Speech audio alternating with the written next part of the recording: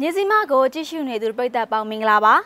ဒီကနေ့စက်တင်ဘာလ20ရက်နေ့လယ်2နာရီထိနောက်ဆုံးရရှိခဲ့တဲ့သတင်းတွေကိုတင်ဆက်ပေးပါတော့မယ်ကျွန်မကတော့ရမုံပါ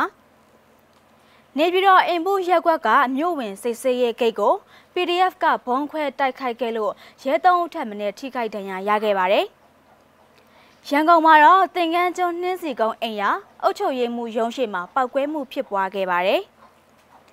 ကချင်ပြည်နယ်မြစ်ကြီးနားစီးပွားရေးဗန်ရှိမှလည်းအတန်မိုင်းကွဲခဲ့ပါသေးတယ်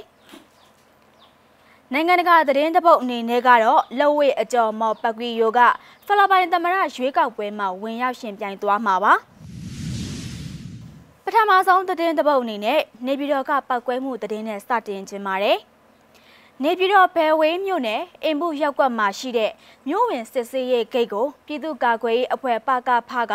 ဒီကနေ့မနက်10:00နာရီမှာဘုံခွဲတိုက်ခိုက်ခဲ့ပါတယ်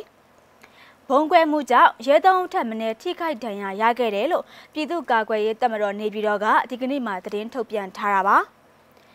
စစ်ကောင်စီလက်အောက်ခံရဲဆယ်ဦးခန့်ရှိတဲ့အင်ဘူးစစ်စေးရေးဂိတ်ကိုပြည်သူ့ကာကွယ်ရေးတပ်မတော်နေပြည်တော်ရဲ့ညီနောင်မဟာမိတ်အဖွဲ့တွေဖြစ်တဲ့နေပြည်တော်ပြည်သူ့ကာကွယ်ရေးတပ်ဖွဲ့ပကဖကအဝေးထိန်းစနစ်နဲ့ဘုံခွဲတိုက်ခိုက်ခဲ့တာဖြစ်ပါတယ်။အဲဒီဂိတ်မှာကအမြဲတမ်းလိုလိုစစ်ဆေးရေးတွေလုပ်နေတာ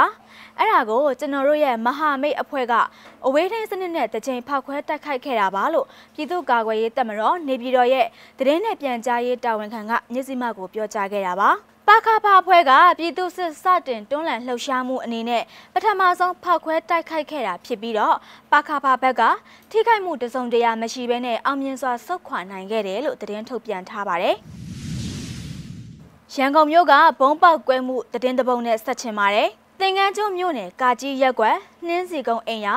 ရက်ကွက်အုပ်ချုပ်ရေးမှူးရုံးရှိမှာဒီကနေ့မနက်7:00နာရီလောက်ကပောက်ကွဲမှုဖြစ်ပွားခဲ့ပါတယ်။အုပ်ချုပ်ရေးမှူးရုံးရှိမှာကာထားတဲ့အကာနဲ့ညောင်းချနေရာမှာပောက်ကွဲခဲ့တာလို့ရက်ကွက်နေသူတအုပ်ကပြောခဲ့တာပါ။အုပ်ချုပ်ရေးမှူးရုံးမှာတနင်္လာနေ့မှာဆိုရင်တော့အဲစရင်တိုင်တဲ့သူတွေများတယ်။အဲ့ဒီတရက်ပဲအဲစရင်တိုင်ရတာ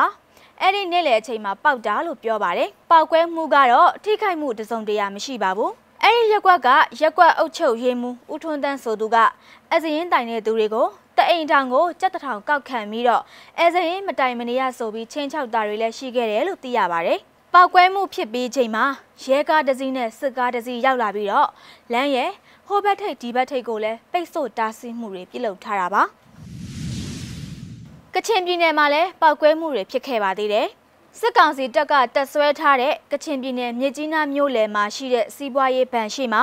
ဒီကနေ့မနက်ပိုင်းကအတန်မိုင်းကွဲခဲ့တယ်လို့ဒေသခံတွေကပြောပါတယ်။ကချင်ပြည်နယ်စီမံအုပ်ချုပ်ရေးကောင်စီရုံးနဲ့ကလျက်ရှိနေတဲ့မြမစီးပွားရေးဗန်ရှိမှာဒီကနေ့မနက်9နာရီလောက်ကပောက်ကွဲမှုဖြစ်ပွားခဲ့တာပါ။ပောက်ကွဲပြီးတဲ့အခါမှာတော့စစ်ကောင်စီတပ်တွေရောက်လာပြီးတော့လမ်းကိုခက်တခဏပိတ်ထားခဲ့တာပဲဖြစ်ပါတယ်။အဲ့ဒီပောက်ကွဲမှုဟာ စစ်ကောင်းဆောင်မင်းအောင်လိုင်ကချင်ပြည်နယ်ကပြန်လာပြီးတော့နောက်တနေ့မှာပဲဖြစ်ခဲ့တာဖြစ်ပါတယ်။နောက်ဆုံးအနေနဲ့နိုင်ငံတကာသတင်းသဘုတ်ကိုပြောပြပေးပါမယ်။ဖိလစ်ပိုင်နိုင်ငံမှာလက်ဝဲသမားဖြစ်ကနေနိုင်ငံရေးသမားဖြစ်လာသူဘက်ကွီယိုဟာ2022သမ္မတရွေးကောက်ပွဲမှာဝင်ရောက်ရှင်ပြိုင်မယ်လို့တနင်္ဂနွေနေ့ကကြေညာလိုက်ပါတယ်။ဒါဟာ အထင်ကရလက်ဝဲအကျော်မော်အနေနဲ့နိုင်ငံရဲ့ထိတ်တန်းတာဝန်ကိုရရှိအောင်စ조사မလားမစ조사ဘူးလားဆိုတဲ့ထင်ကြီးတွေကိုအဆုံးသတ်သွားစေခဲ့ပါပြီအခုချိန်မှာခေါင်းဆောင်မှုအတွက်စိန်ခေါ်ရှင်ပြိုင်မှုကျွန်တော်တို့အစဉ်သင့်ဖြစ်နေပါပြီလို့သမရဒူတာတေးရဲ့အာဏာရပါတီကပြိုင်ဘက်ပါတီခွဲကနေနာမည်စရင်သွင်းတာကိုလက်ခံပြီးတော့ပက်ဂရီယိုကပြောခဲ့တာပါ 2010တုန်းကစီးနိတ်လွှတ်တော်မှာရွေးကောက်တင်မြှောက်ခြင်းမခံရခင်လွှတ်တော်အမတ်တအုပ်အဖြစ်နဲ့နိုင်ငံရေးတဲ့ဝင်ရောက်လာသူပကရီယိုဟာ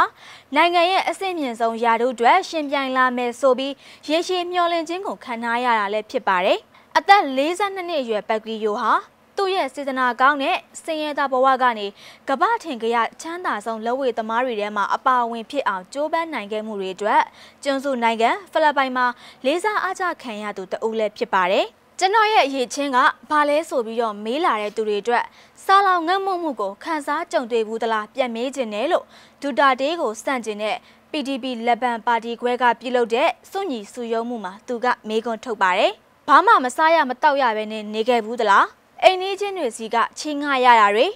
စားတောက်ဆိုင်တစ်ဆိုင်ကအကြံတွေကိုစောင့်မျှော်နေခဲ့ရဘူးသလား။ ပပတ်ကွေရိုဟာစင်ရန်မွဲတင်မှုကြောပိုးထားရသူတွေရှိမှရက်တည်နေပါတယ်လို့သူကပြောပါတယ်။နိုင်ငံအတွင်းလူကြိုက်များတဲ့ပတ်ကွေရိုရဲ့တောက်ပတဲ့အောင်မြင်မှုဟာသမရရှင်ပြိုင်ပွဲမှာအမာခံနေထားကိုတွန်းပို့လိုက်မှာပဲဖြစ်ပါတယ်။တရုတ်နဲ့ တောင်တရုတ်ပင်လယ်အရေးအငင်းပွားမှုမှာကင်တွယ်ဖြည့်ရှင်းပုံနဲ့ပတ်သက်လို့သမရဒူတာဒိန်းနဲ့ပကွေယူရိုအကြားလူသိရှင်ကြားဝေဖန်တိုက်ခိုက်မှုတွေနဲ့တာဝန်ရှိသူတွေရဲ့အာဏာအလွဲသုံးစားမှုတွေကပကွေယူအတွက်ထောက်ခံမှုတွေကိုဆုပ်ယုပ်ရောပါစေနိုင်တဲ့အခြေအနေမှာလည်းရှိနေတာပဲဖြစ်ပါတယ်ရှင်။စက်တင်ဘာလ20ရက်နေ့နေ့လယ်2နာရီထိနောက်ဆုံးရရှိခဲ့တဲ့သတင်းတွေကိုတင်ဆက်ပေးခဲ့တာပါ။ ကြည့်ရှုနားဆင်ပေးခဲ့တဲ့အတွက်ကျေးဇူးတင်ပါတယ်အားလုံးပဲတာယာလှပတဲ့နေ့လည်ခင်းလေးကိုပိုင်ဆိုင်ကြပါစေရှင်။